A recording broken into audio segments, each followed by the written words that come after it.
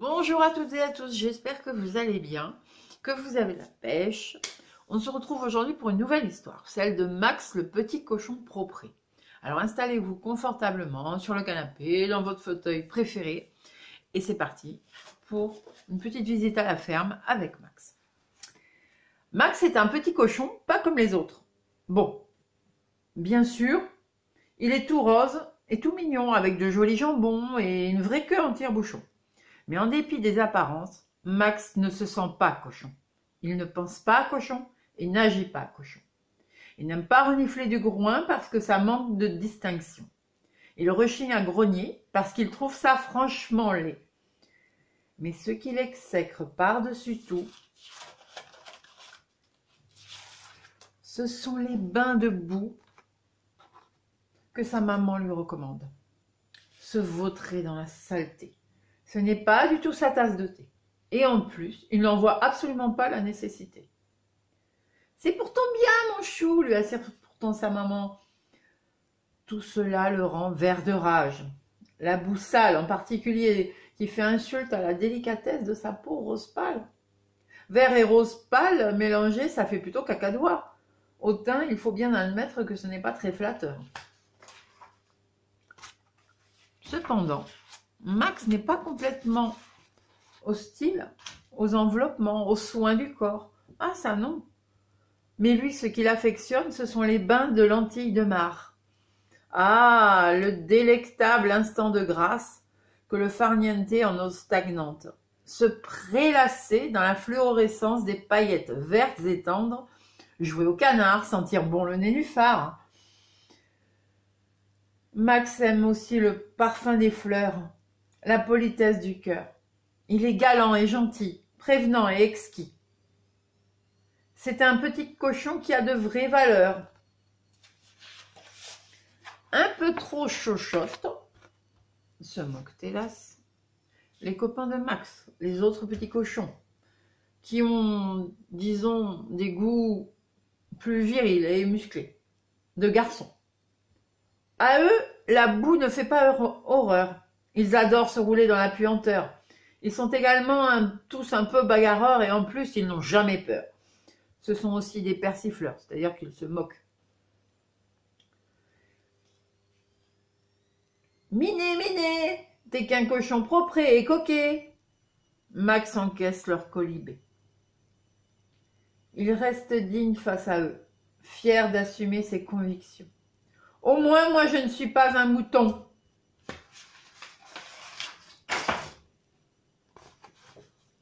Max a une petite voisine de son âge, Rosita, qui est aussi rose et sucrée qu'une barbe à papa. Tout le monde la trouve à croquer, cela va de soi. Les loulous du quartier font leur coque, ce qui pour des cochons quand même est un petit peu bizarre, mais bon, ils font quand même leur coque. Lorsqu'ils la voient passer. Et des courbettes aussi. Et croyez-moi, un cochonnet emplumé qui donne du rond de jambe pour se faire remarquer, c'est aussi tape à l'œil qu'une meneuse de revue de cabaret. Rosita est évidemment très très courtisée. Une cour de, cochonnets et il va s'en dire littéralement à ses pieds. Tous sauf un, Max, qui aime bien Rosita, mais qui n'en fait pas tout un plat. Et puis, quand les autres sont là, elle joue les Lolita. Elle se comporte comme si Max n'existait pas, et ça, lui, il ne le supporte pas. Il trouve qu'elle exagère de le snober. On se doute bien que cette attitude ne peut pas lui plaire. Pire encore, elle ose se compromettre avec les garnements dans les flaques glauques et malodorantes.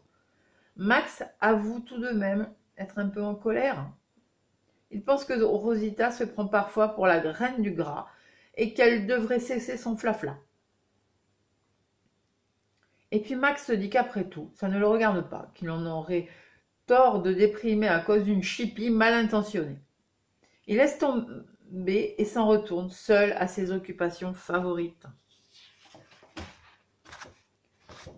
Cueillir des, fleurs pour sa maman, un bouquet de marguerites respirer la nature des odeurs des plantes aromatiques, le thym, le romarin. Ou encore composer des poèmes élégants à la gloire de la déesse Aphrodite. Sans oublier bien sûr de barboter dans les eaux aux senteurs divinement inédites. Tandis que les autres cochons font des bêtises de polissons dans la boue sale et marron, Max a des loisirs vraiment plus raffinés et recherchés. Dommage qu'il soit un goré car un jeune cochon subtil et sophistiqué n'a que peu de crédibilité aux yeux des autres cochons.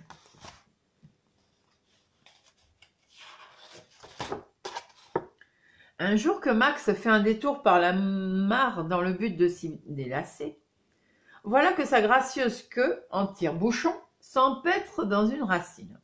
Il a beau secouer son arrière-train, agiter en tous sens son popotin, sa petite extrémité spiralée reste désespérément accrochée à l'étrange tubercule. Impossible de s'en délier. Pour tenter de s'extirper de ce malencontreux ficelage, Max rassemble ses forces et courage. Il tire, expire, se débat avec rage, mais ses efforts sont vains.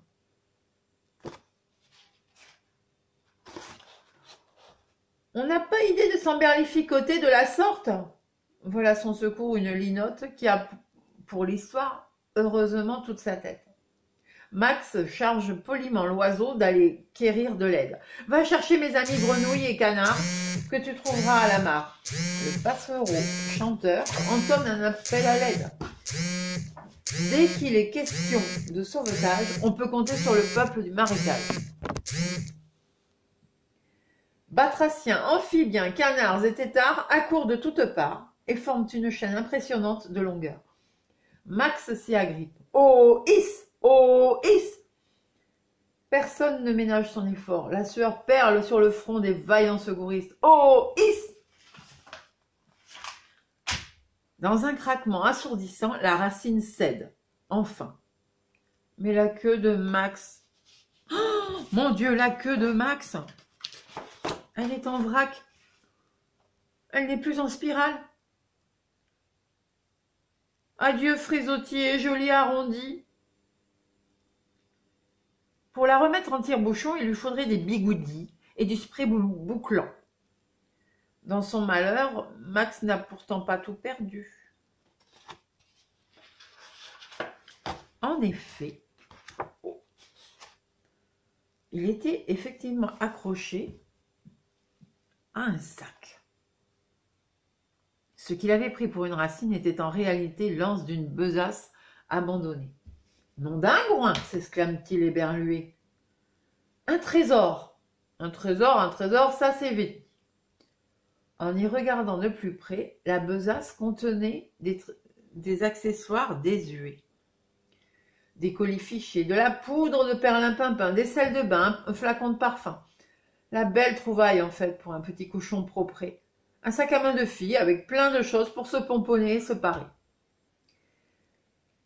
Ces petits déboires anatomiques, si tout oublié, Max s'empresse de recenser cet attirail et ne se fait prier pour tout essayer. Il se saupoudre le corps de poussière d'or, s'asperge la tête d'eau de toilette et ajuste une drôle de perruque entre ses oreilles. Puis il enfile des bijoux clinquants des plus voyants. Le résultat est assez surprenant. Alors, qu'en pensez-vous, mes amis? Est-ce qu'on t un avis? Ça veut dire demande-t-il un avis? Un canard, styliste de mode dans la ferme, s'avance pour en juger. Il faut rappeler qu'en la matière, les colverts ont toujours été des experts hors pair. Il déclare avec préciosité Absolument bluffant, merveilleusement ravissant. Cette incomparable touche baroque semble tout droit te faire sortir d'une autre époque. Quelle allure royale en finiras-tu de t'extasier? l'interrompt Max, un peu gêné. Je te rappelle que toutes ces choses sont pantoques. Mais l'illusion est si pas le fait. Max dit alors qu'il pourrait aller montrer son déguisement à sa maman. Mais il ignore que les méchants enfants cochons l'attendent au tournant. Eh Visez l'accoutrement Ouh La mazette Sa seigneurie pas en balle peut-être? Il renifle Max bêtement et ricane bizarrement. Alors, beau prince, on a fait trempette dans la moumousse à la violette? Avisant la queue de Max. Voyez-vous ça, on a défrisé sa couette. Max n'emmène pas large. Tout d'un coup. Ça suffit, bande de cervelés, s'interpose Rosita, qui n'a pas l'air de rigoler. Tout doux, ma jolie, se risque le plus hardi des cochons.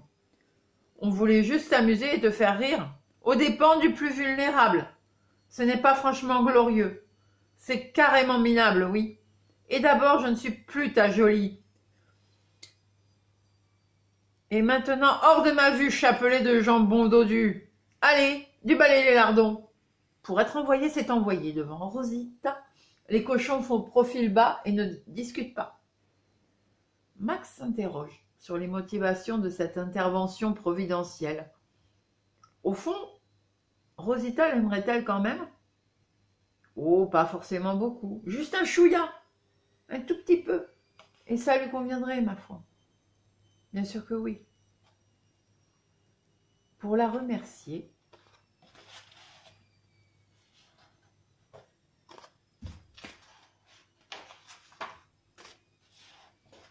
Max offre à Rosita un collier du plus bel effet. Elle s'avoue touchée, mais se défend d'être une fille intéressée. Ce qu'elle recherche avant tout, c'est une histoire d'amitié, parce qu'elle en a marre de la boucracra et des loulous grossiers. Justement, avec Max, elle est bien tombée. Il lui révèle plein de secrets de beauté pour rester rose, comme une barbe à papa. Il l'initie au bain. Désormais, ils sont deux petits cochons propres à sentir bon le nénuphar et à assumer sans complexe leur préférence pour les bains de mare, n'en déplaise au goré ventard. Voilà, l'histoire est terminée pour aujourd'hui. J'espère qu'elle t'a plu. Alors, il y avait sûrement plein de mots que tu n'as pas compris. Et papa et maman vont t'expliquer. Ne t'inquiète pas. Euh, et tu as entendu plein de sonorités, plein de mots qui résonnaient comme des rimes, comme un poème. Donc on se retrouve très très vite pour une nouvelle histoire. Et je te fais des gros bisous.